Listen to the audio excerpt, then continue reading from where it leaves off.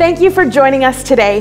If you're joining our ACC community for the very first time, we want to extend a very warm welcome to you today. And we would invite you to visit our website at alliancecommunity.ca, to just learn a little bit more about who we are, and also to connect with us. So visit the I'm New tab on our website. Click on there. There's a connect card there. We'd love for you to fill that out so that we can get in touch with you and just really connect with you in a new way. If you're one of our regular attenders with ACC, we also want to extend a very warm welcome to you. We want to thank you. Um, you are a very vital member of our family, and we're so very thankful for your generosity, for your involvement, um, and we're just so thankful to have you as part of our family. Speaking of family, I have a few family matters that I want to bring to your attention today. The first is we um, are blessed to have an upcoming baptism service here at the church on Sunday, August 29th at 6 p.m. here at ACC. If you would like to be baptized, we would love to hear from you. So please contact Pastor Jim. You can email him at jim at alliancecommunitychurch.ca or you can call the church office and connect with him here. Secondly, we are super excited to tell you that we are kicking off our fall ministries um, we're having our big kickoff on Sunday, September 12th. We're calling it Take the Dip because we want to give you the opportunity to dive in to different opportunities here in the church. Where you're going to have opportunity to see and hear from different small groups that are running, um, ministries that are operating. We just want you to dive in and get involved in our community here at ACC. This will be a fun day. You will have an opportunity to hear from the heart of the leadership, as well as there will be some fun activities and some great food. So we're very excited for you to join us for that day. So mark that down. Now, that is also the Sunday that we are kicking off kids' ministry. Yes, yes, we are kicking off kids' ministry. I know you are as excited as I am. We are super thrilled to be able to launch our kids' ministry once again. And so we need for you, as our families, to please pre register your kids before that date. So you can do that in a couple of ways. One, you can come by the church, we've got registration forms here, you can fill them out. Or you can visit our website on alliancecommunity.ca slash kids. You will see the registration form there. Now, in order to run effective ministries for our kids and to be able to disciple them in their walk with Jesus, we need you. We need people who love Jesus to share that love with our kids. And so also we need many volunteers. Now there's so many different ways that you can volunteer. You can be anything from providing snack for kids on our after school ministry programs to cuddling babies, to being part of our welcome team and helping families sign in on a Sunday morning, to teaching kids in Sunday school, to reading Bible stories to kids, to just spending time with them and mentoring them. We need so many hands in order to be effective ministers for Jesus to these little ones.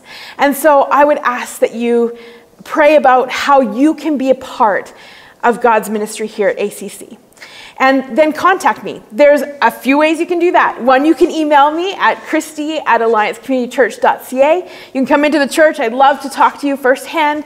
Um, as well as you can also visit our alliancecommunity.ca slash kids page, and there is actually a volunteer form on there that you can fill out, and then I will contact you. And we'll arrange a time to meet and hear your heart of how you'd like to be involved with kids ministry. So please, please join us. Well, as we enter into a time of praise and worship this morning, I wanted to read from Isaiah 12, verses 4 to 6. And this is what it says Give thanks to the Lord, call on his name, make known among the nations what he has done, and proclaim that his name is exalted. Sing to the Lord, for he has done glorious things. Let this be known in all the world. Shout aloud and sing for joy, people of Zion, for great is the Holy One of Israel among you. Let us pray. Lord, we proclaim your greatness and all the glorious things you have done. Thank you for giving us the gift of your Son, Jesus. Jesus, thank you for laying down your life so that we may have life. May the words from our mouths be filled with adoration and thanksgiving for all you have done and are doing in our lives. May your name be lifted high and may you be glorified. In Jesus' name, amen.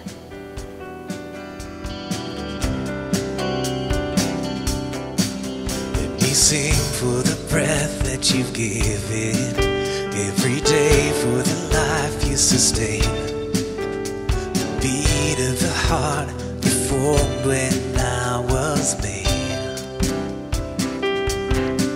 let me worship your wonder and splendor, through the heavens your glory proclaim. They don't know the price you paid for the life, the sacrifice you made.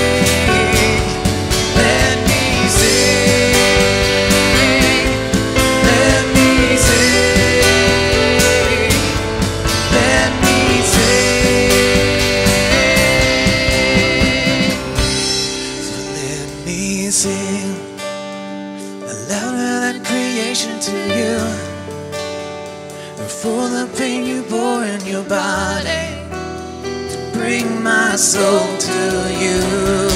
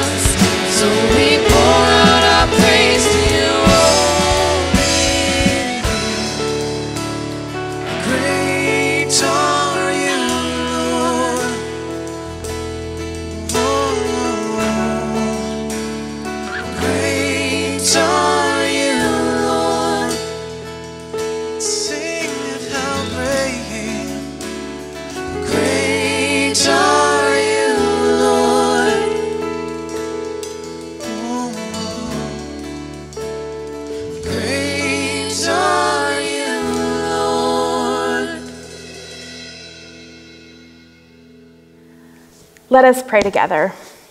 Heavenly Father, we thank you and praise you for who you are and that you are always at work. Jesus, I pray for those among us who may be struggling with illness, who may have lost loved ones. Father, I, I pray that, that you, as the mighty healer, would heal their bodies and restore them to health. That Jesus, you as the comforter, would be the comforter that you are, and that you would be, pre- be bring peace and comfort to those that have lost loved ones.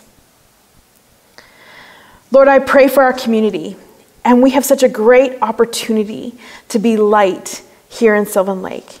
So, Jesus, I pray that we would be your hands and your feet, that we would go and be a light into a lost world, that your name would be lifted high, that you would be glorified. Holy Spirit, I pray that as Tim comes now to share from your word, that you would speak to our hearts, that you would draw us closer to you, that we would hear from you, and our lives would be drawn closer to you. In Jesus' name, amen.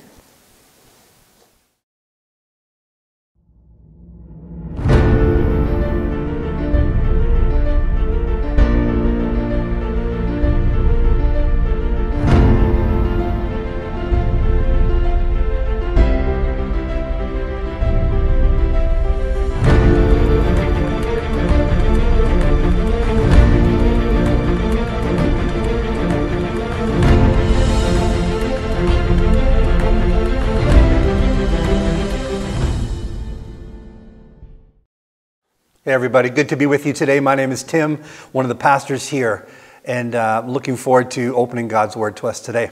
While it was a hot afternoon in the Judean countryside, a lone man stood atop a barren hillside and surveyed the scene before him. His name was Judas Maccabeus. He was the son of a priest from the village of Modein, and he himself was a priest, but he was more than a priest. He was a fighter. Uh, at the back, at his back were hundreds of zealous Jews, mercenaries uh, for hire, and soldiers, tough men ready for tough times. They were more than willing to follow Judas. He was a brilliant strategist and warrior. He earned the name Maccabeus, which means hammer, because of the way he hammered his enemies whenever they fought. And they had been fighting for months.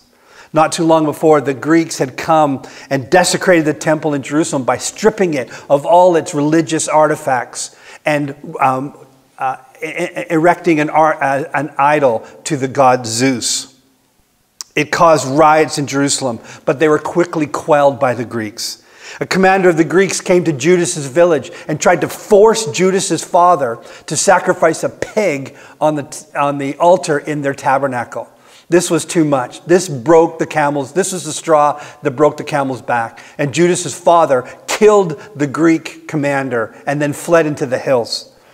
But for Judas, hiding wasn't an option. He wanted to free the Jews from all the Greek oppression. And so he began to fight back by means of surprise attacks and ambush he, and quick mobility of his forces. Judas was successful in defeating a succession of Syrian commanders.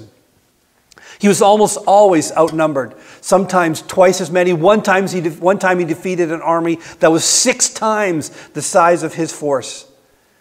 Sometimes their enemies had elephants. It was overwhelming. The, the, the odds against them winning were high. But his passion for the freedom of the Jews was even higher. Every time they defeated a Syrian force, they captured their weapons and grew in confidence as well as in armory. Judas grew in stature among the, the Jews. They trusted him, they believed in him. He was forcefully and violently taking back their rights from their oppressors, and they were experiencing great success. After many battles won, Judas was finally able to uh, re- redeem and restore the temple in Jerusalem. He purified it. They lit a lamp. That lamp was supposed to last and stay lit for one night, but miraculously, it stayed lit for 14 nights. The Jews made a new altar in the temple and they enacted a 8-day celebration. Surely Judas was the Messiah, many thought. Uh, he was setting Israel free. He was zealous for the things of God, and he was proving himself more powerful than his enemies. He was like the judges of old, like Gideon and Samson and Ehud. He was like King David, the, the powerful uh, warrior and the man after God's own heart. The savior, uh, savior of Israel had come.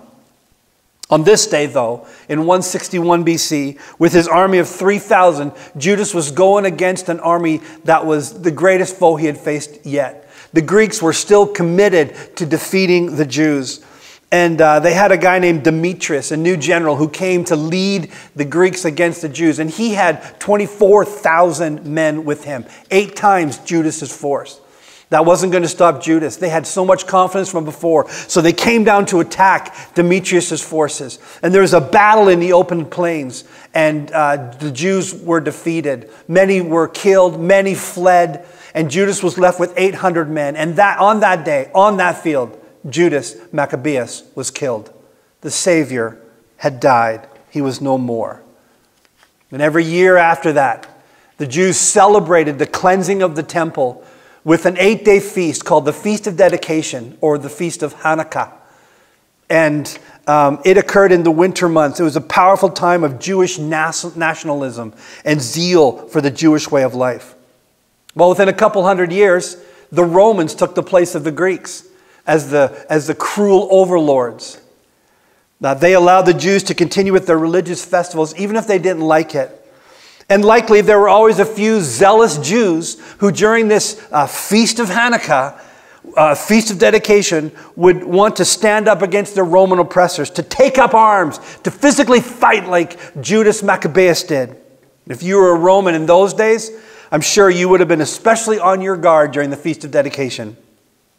The days and weeks leading up to the feast would have been increased uh, tension and unrest.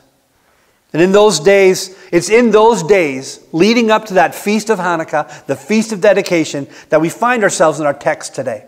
I just wanted to give you that idea so you could feel what the Israelites were feeling when we go into this text today.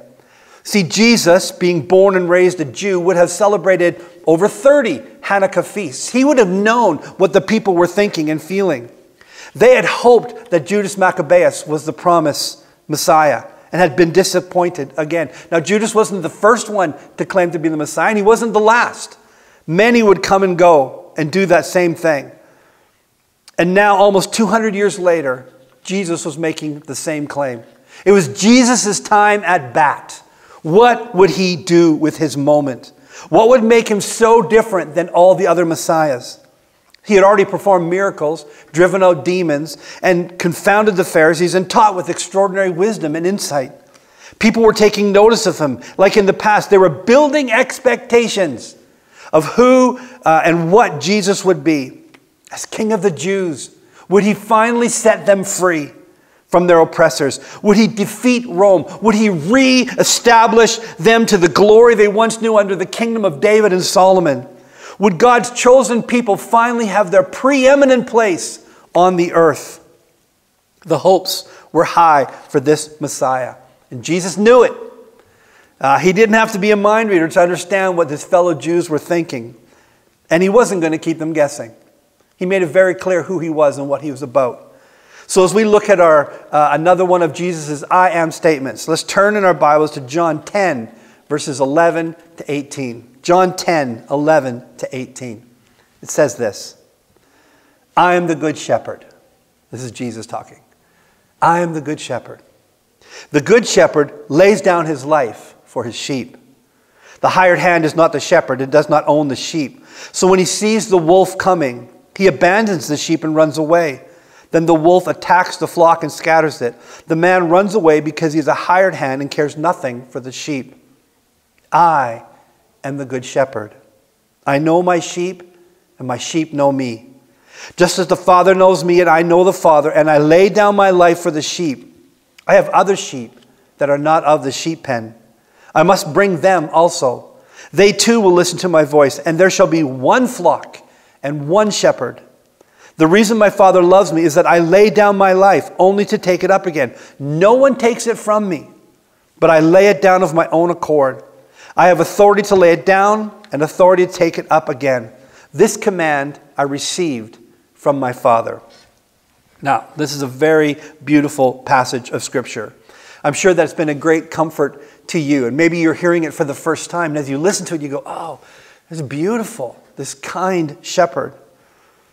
Jesus said, I am the good shepherd. So I did a Google image search for Jesus is the good shepherd. There were many pictures to choose from. I chose a selection of them that kind of represent uh, all the pictures that were there, and I put together a little video. So here's what I want you to do uh, we're going to play that video, and I want you to watch it. And then as you're watching it, I want you to think uh, of an adjective or two that you would use to describe Jesus as the Good Shepherd. So uh, let's watch that video now, and then we'll come back in just a moment.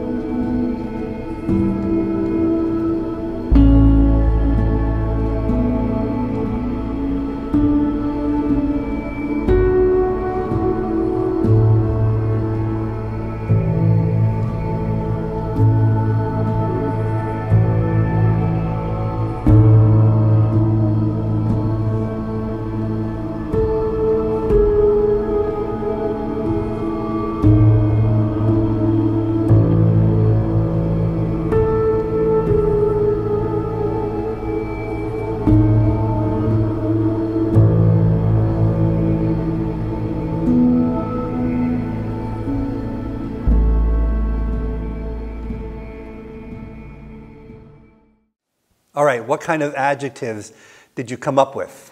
Kind, gentle? Uh, maybe write them in the comment box if you are watching online right now. Uh, what kind of words describe Jesus as the Good Shepherd? Well, those seem like very sane and natural reactions. And you'd think, because we're, we would think the Jews would be sane and natural people too, that, that they would respond the same way. But actually, they respond very, very differently. We talked about this last week, but I'm going to talk about it again because those two passages are together.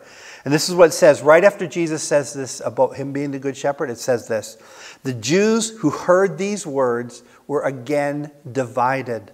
Many of them said, He is demon possessed and raving mad. Why listen to him? Okay, that is a shocking response, don't you think, to that passage I just read? Why would they respond that way? Demon possessed? Raving mad? Stop listening to him? What's going on here? Well, Jesus makes several statements that to the Pharisees and most of the listeners would have been radically controversial and inflammatory. Before we get into them, let's just look at that main statement first. Jesus said, I am the good shepherd. You've got to understand that the Jews knew their Bibles like sports fans know their teams, like uh, music lovers know their favorite band names and songs, like a gardener knows all the characteristics of all the plants they put in their garden.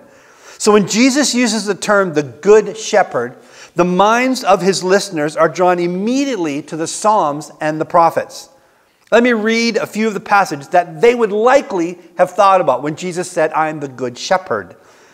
Psalm 80, verse 1 says, Hear us, shepherd of Israel, you who lead Joseph like a flock, you who sit enthroned between the cherubim, shine forth. Hmm. Psalm 100, verse 3 says, Know that the Lord is God. It is He who made us, and we are His. We are His people and the sheep of His pasture. And Psalm 40, verses 10 to 11 says, See, the sovereign Lord comes with power, and he rules with a mighty arm. See, his reward is with him, and his recompense accompanies him. He tends his flock like a shepherd. He gathers the lambs in his arms and carries them close to his heart. He gently leads those that have young. Each one of these passages is talking about the Almighty God the one true God that the Jewish people worshiped. There was no one like him. He stood above all other gods. The others were wisps of smoke compared to the blazing glory that was his. When Jesus called himself the Good Shepherd, he wasn't saying that he was just, you know, really talented to take care of sheep. He didn't say that he was a good shepherd. He said he was the good shepherd. And he said it twice, just in case anyone missed it. He was saying that when the Psalms and the prophets talked about uh, the sovereign Lord, the one true God, they were talking about him. Now, this would have been explosively blasphemous to a lot of the Jewish listeners, especially the Pharisees. How could a mere man claim to be God? This is no small deal. This is no mild self revelation. This was worthy of death, and Jesus knew it, but he stated it emphatically all the same. And then, while they were still trying to catch their collective religious breath, he hits them with three more statements that were almost as difficult for them to grasp. First thing he says was, I lay down my life for the sheep.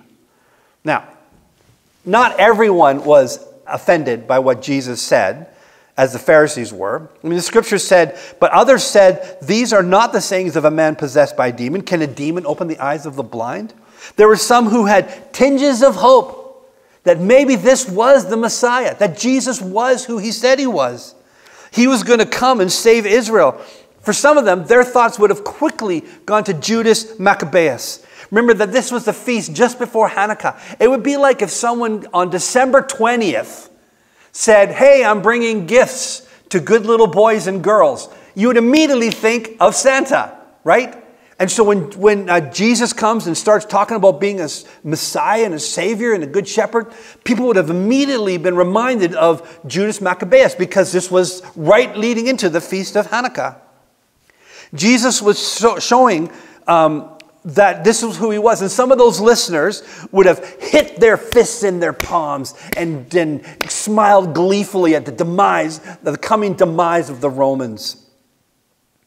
Jesus was showing that he was something special by the miracles he was performing and by the incredible way he taught. Maybe his claim of rescuer was true.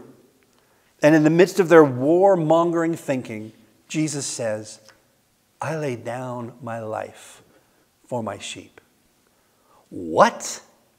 What kind of method is that? What do you mean you lay down your life? Don't you mean you, you lay down the lives of the Romans? You kill the Romans?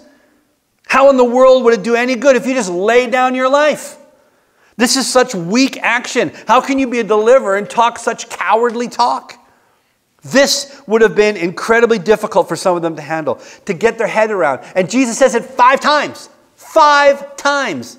So that even the thickest of the bunch could hear what he was saying. He was adamant that the way to his ultimate victory was to sacrifice himself for his sheep. This was a hard pill to swallow. Now, the second statement was as outrageous as the first.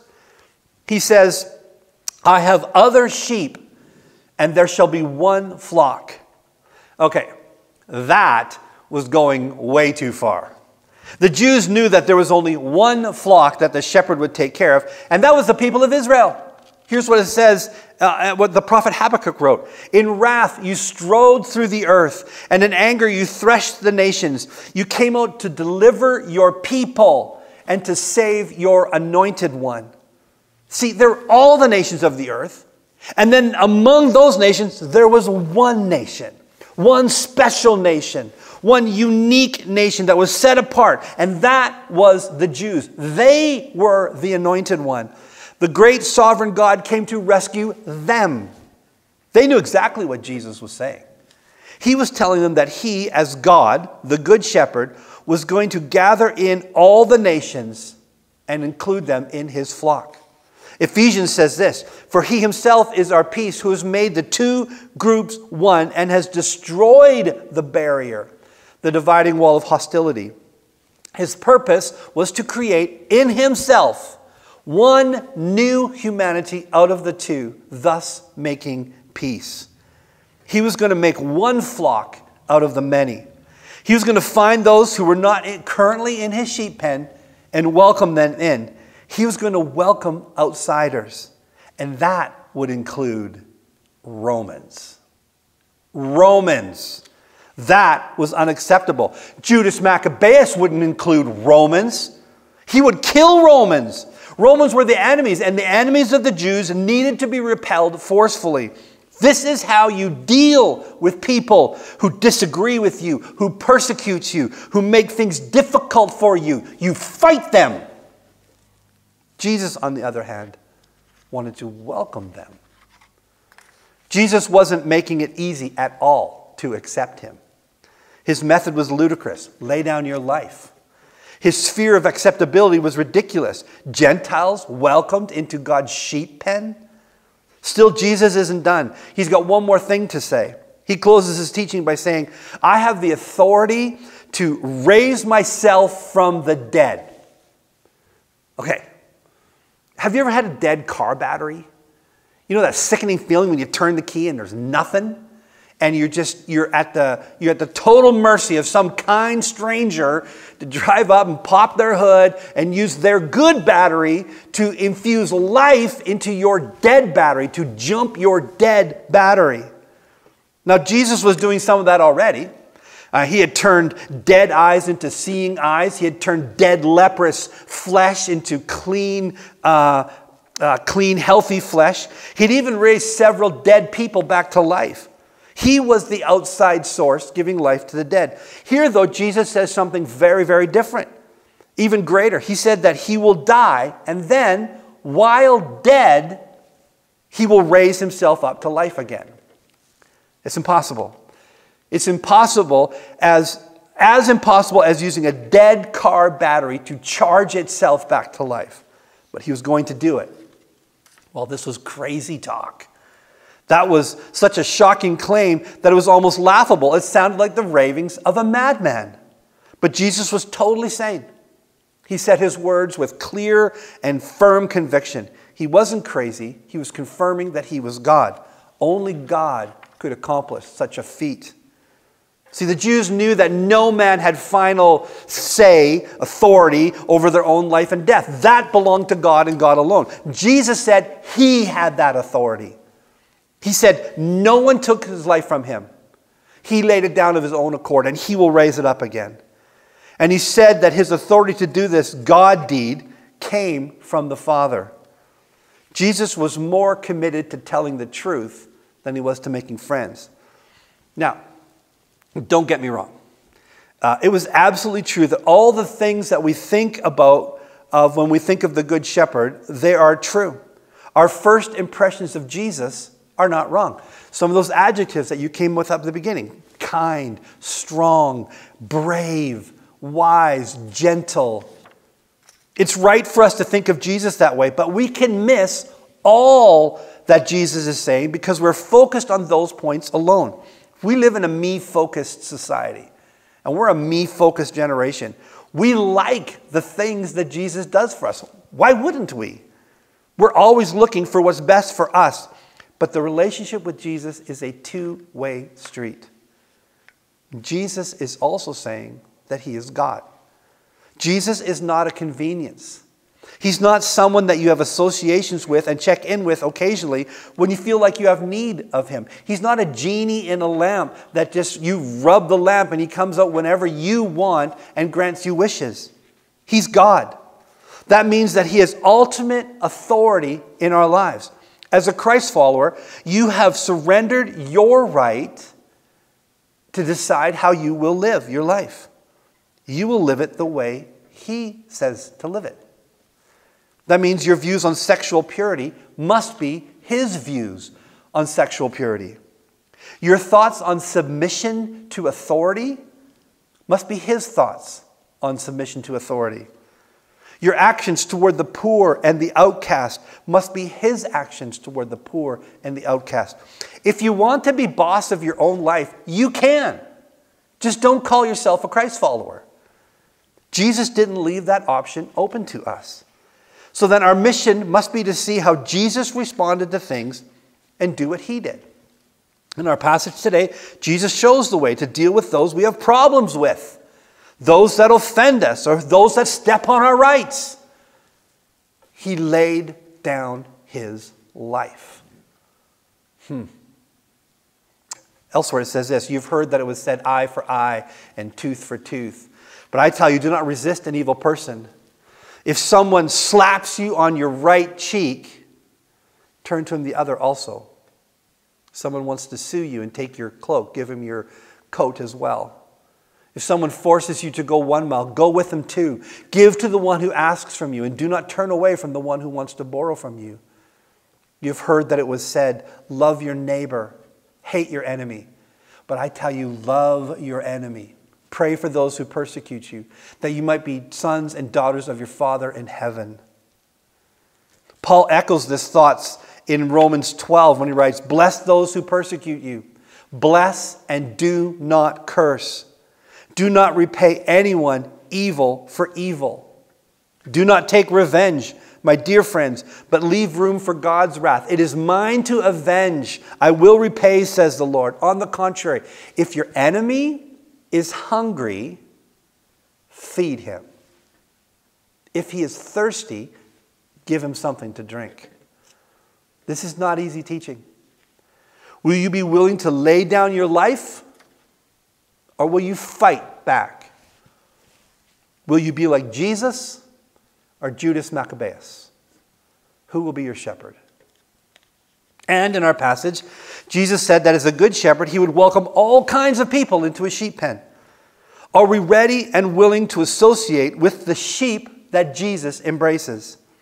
Will you accept those who've had a dark and dirty past? Will you love those with different political or sexual views? Will you warmly receive those who feel strongly and differently about whether, differently than you, about whether to get vaccinated or not, about whether to open up the province or not, or whether to wear masks or not? Will you be one with those who struggle with addiction? Will we look like and follow our good shepherd, or will we do it our own way, our natural way? I'm so grateful that Jesus is my good shepherd. I've received incredible blessings uh, because of that. But I must take all of him or none of him. He will not allow himself to be partitioned off. He will not allow himself to be compartmentalized. Either he is Lord of all or he is not Lord at all. Now, Jesus is the standard by which we measure everything. And as we stand before him, we are reminded again that he is our good shepherd. On the one hand, we will find peace and comfort in him. Listen to the beautiful words of Psalm 23 The Lord is my shepherd, I lack nothing. He makes me lie down in green pastures, He leads me beside still waters, He restores my soul. He guides me along the right paths for His name's sake. Even though I walk through the valley of the shadow of death, I will fear no evil, for you are with me. Your rod and your staff, they comfort me. You have prepared a table before me in the presence of my enemies. You anoint my head with oil. My cup overflows. Surely goodness and love will follow me all the days of my life, and I will dwell in the house of the Lord forever. It is good that Jesus is our good shepherd. We're reminded of these glorious truths, and they bring joy and hope to our lives. On the other hand, though, we are challenged by his claim to be Lord of everything in our lives. He is the shepherd, the good shepherd. His sheep go where he leads them. His method, his way was one of sacrifice, and his affection and scope of acceptance included many who we might find uncomfortable to associate with. As our good shepherd, will we trust him? Will he be our good shepherd today? Well, we, whenever we come to the end of our teaching time, we have time of listening prayer. And that's what we want to do again right now. So, wherever you are, if you're driving your car, uh, if you're sitting at home, uh, we're going to take some time of quiet just to listen. I'm going to create that space for you. And uh, take advantage of it. Jesus is with you right now. He's a good shepherd. He knows where you are, he's, a, he's attentive to you, He's aware of you. And He wants to speak to your heart. So listen to Him. Let's pray together. Lord Jesus, thank you that we can come and uh, be in your presence. Thank you that you hear us, that you love us, that you know us. And thank you that you haven't um, pulled back on any truth about who you are. You are the shepherd. And the sheep uh, that follow you and listen to your voice are your sheep. Help us to be your sheep. In this moment, shepherd, we listen to you. Speak to us.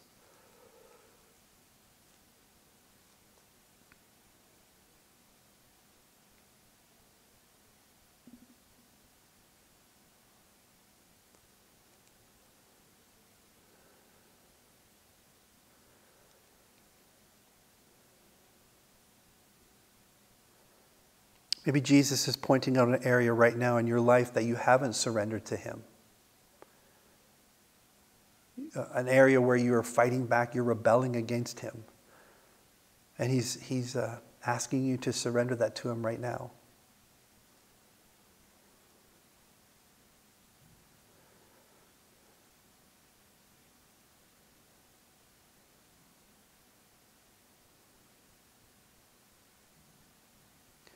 Maybe there's an area in your life where you've wanted to fight back. Someone has stepped on your toes, on your rights. You just want to fight. And Jesus is asking you to lay down your life.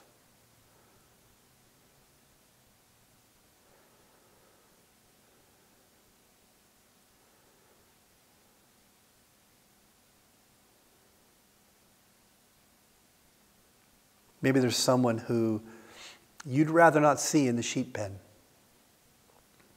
You feel like they don't deserve the love of Jesus. They don't deserve to experience what you experience. Is Jesus pointing someone out to you right now?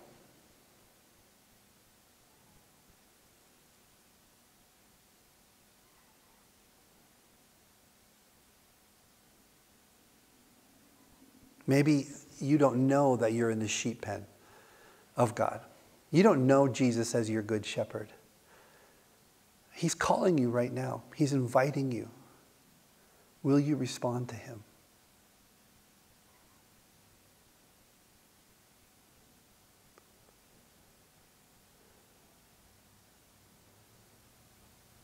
Thank you, Jesus, for your word. Thank you for what you teach us, how you want us to align with you. Because you've come that we might have life to the full. Thank you that you've laid down your life for us. That you don't run when danger comes, you stay. You're not the hired hand, you're the shepherd. And so we, um, we give you thanks today. Give us the grace and the strength to live lives worthy of the calling that you've given us. Live lives of obedience, to follow you, chief shepherd, good shepherd. Follow you with our whole hearts. In Jesus' name, amen.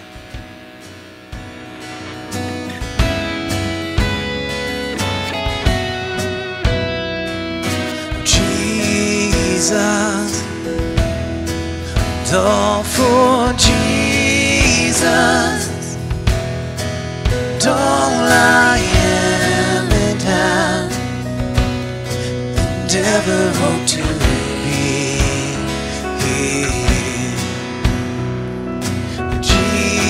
Jesus, all for Jesus all I am and have, and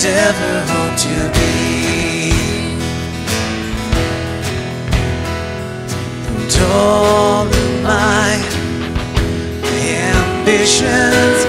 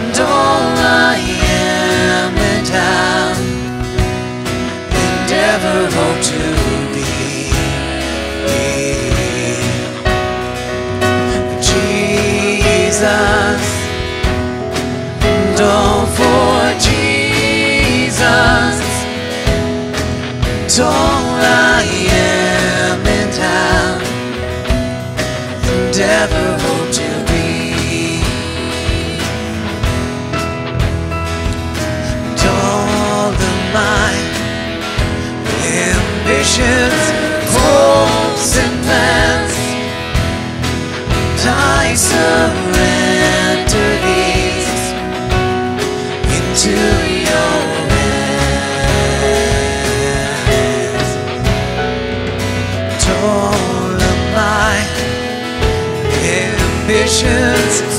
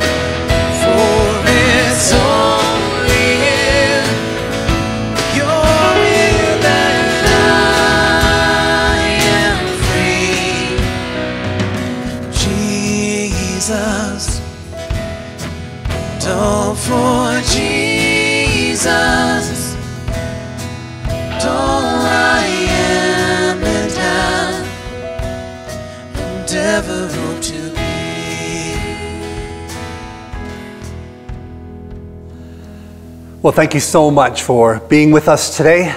And uh, I trust this has been encouraging and challenging to your heart. If you'd like to talk to me about it, please send me a note. Uh, give me a call at the church. I'd love to be able to talk with you more about this. If you want to receive Jesus as your Lord and Savior, I would love to talk with you about that as well. Uh, I love what it says in Psalm 100 Know that the Lord is God. It is He who made us, and we are His. We are His people, the sheep of His pasture. Enter His gates with thanksgiving and His courts with praise. Give thanks to Him and praise His name. For the Lord is good and His love endures forever, His faithfulness through all generations. Friends, you are deeply loved by the Good Shepherd. He really cares about you. He wants you to follow Him. He wants you to uh, live the way He wants you to live, that He's asking you to live, because in that there's life and life to the full, because His love uh, is, he, because the Lord is good and His love endures forever. So live in that truth today and this week, friends. God be with you. Have a great week. We'll see you next week.